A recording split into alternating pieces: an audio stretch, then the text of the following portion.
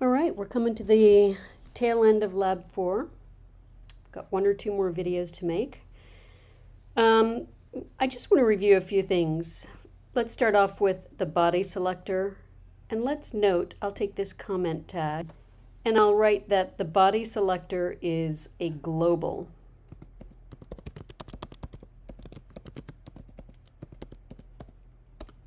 So in other words, if you're choosing something using the body selector, it's going to affect everything that is between the body start and the body end tag. So it's global. Whereas the H2 selector is only going to affect H2 and so forth. So I want to show you something that I did. Um, our slideshow that you would ha will have seen already gave you a slide for something called Typewolf. And in the Typewolf, they talked about how to add fractions. And it's a pretty simple piece of code. I'll put a comment right here. Um, and this is going to be an HTML comment because I'm in the middle of the HTML. So, uh, to get fractions,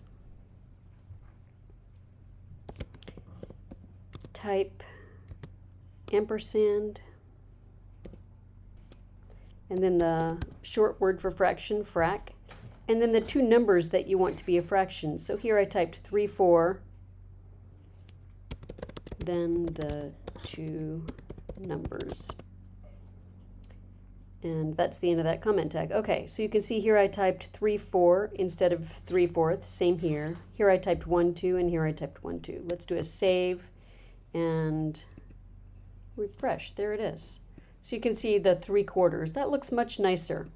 So it's small things like this that help you to not just be a coder, but to be a coder and a designer. Small things like this. All right, now I want to talk a little bit more about font sizes. So let's go back up here into our styles. Um, right here, we've made the font size for the body 18 point. If you remember correctly, the default size is 16 point. So if I were to do a CSS comment, oops, around that tag,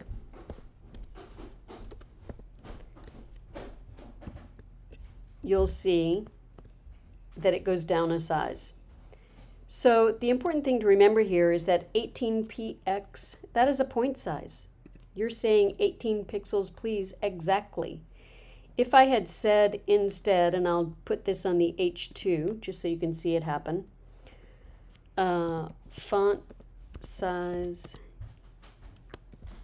and 200%. That's a lot, right? That's big do a save. Oh, I didn't actually finish that tag. Do a save. And look at that. These are now huge. They're bigger than this. Well, maybe they're about the same size. We wouldn't want to do that, but I wanted you to see what percentages look like. 200% would be the same thing as 2 EMs. Let me do a save and a refresh. No change. So the word EM is a typographic term that means the letter M. And so this means two times the size of a normal letter M.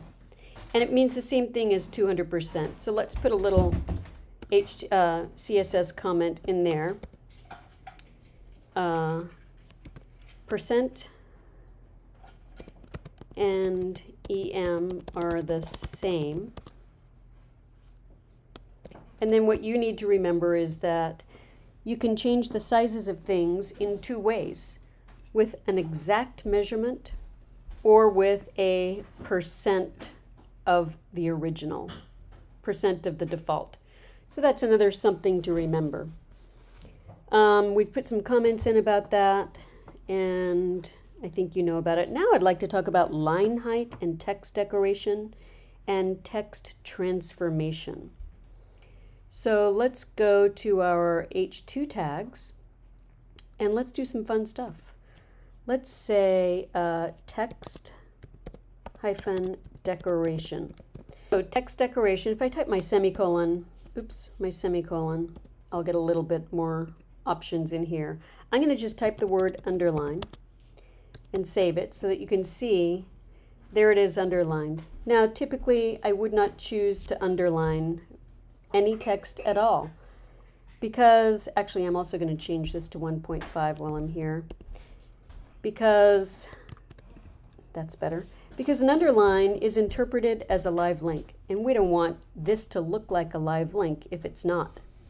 So beside underline, not with a comma, but just with a space, I'm going to type the word dotted and save.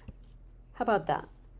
It's not an underline, but it's a way of highlighting it. And I wanted you to see what happens when in the value area, remember this is a property name and this is a property value. In the value area, you can add two values. You just have to separate them with a space. Let's try something on the H1 in the area of a value. So here's my H1 tag. And I'm going to add font size. 3, save. Oh, look at that. Really big. I'm going to leave it like that.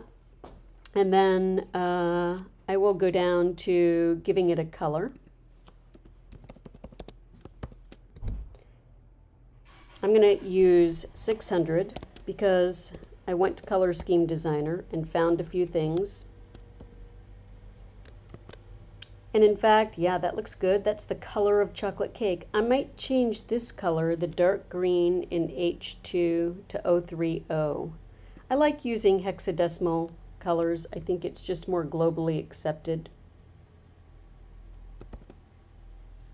Pound 030. And that's a very similar green, so it's not going to look very different. It's a little darker. I didn't want it to stand out too much. Um, and now let's center this headline.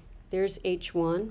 I'm going to choose text align. How about that for a new tag? I bet you've been wanting that one for a while. I know that I wanted it for a long time. We learned last week about how the center tag has been deprecated, and now you know why. All right, there's that. So now I'd like to talk about line height, and that is the space between the lines. It is very common in an unordered list to add a little bit of line height. So let's do that and see what it looks like. UL and line height is the property name. So in this instance, I think it's smart to work with EM. What we know is that 1M, the default, is just one line under the other. So 2M is probably going to spread it out like it's double spaced. Now for a cook, that's just a lot easier to read. Let's play some more with the H1 so we can learn a few more things. How about the font variant? So again, I know I'm asking you to memorize a lot, and you can always write them down. That, that'll help you remember. Or you can just uh, go home tonight and practice. Practice, practice. I'm going to call this font variant small caps. And I think you'll know what it is just as soon as it happens. Oh, I typed something wrong. What did I type wrong? Maybe I need to choose from font variant. There it is. It's a hyphenated word. All right, now I'm going to add a text shadow. Text hyphen shadow. And this is another area where you can type 2px, and that means I would like to offset this text shadow by 2 pixels to the right. And then if I skip a space and type 2px again, that means I would like to offset to the bottom. Now, oh no, how about 12px? This is going to be how much will that glow? We'll change these to take a look at them.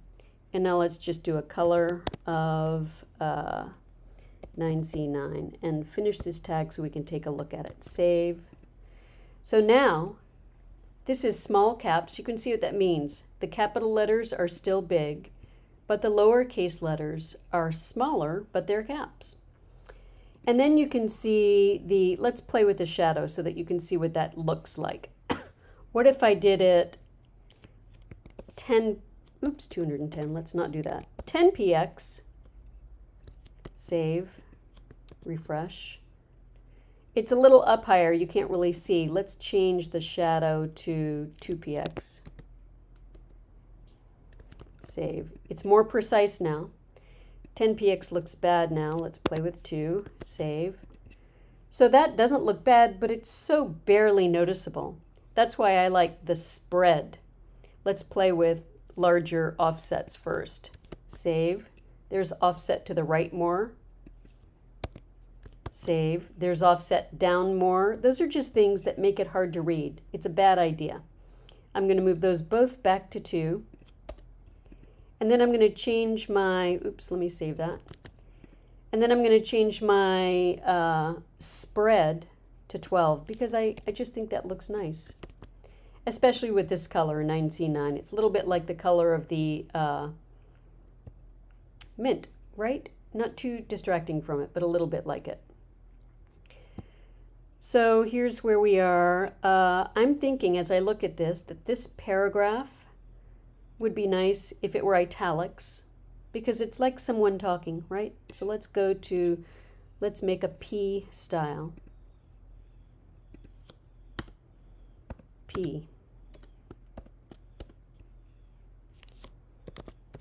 Okay, here's the chance to think. What is it? Is it text weight? Is it font variant? Is it font? It is font style. Uh, I'm going to choose italics save. Yes, I think that looks better. And now let me just look through. Is there anything else we might want to add to the H1s? We've got font size, we've got align, we've got color, font variant, and text shadow. I think that looks good. I'm pretty happy with it. What about the H2s? Do we have enough on the H2? Text decoration, underline, dotted. What if we did, um, so remember how I skipped a space here with that? What if I made that underline a color? So pound 030. It's kind of a green. Let me do a save. Refresh. Yeah. It might be hard to see for you, but it's green. Um, there's one more thing I'd like to do to make this site beautiful. It'll be my next and last video. I just don't think it's wise to ask people to scroll up and down a page, so I would like to put the directions over here beside the ingredients, and I'm going to do that by adding a table. I'll also add the image.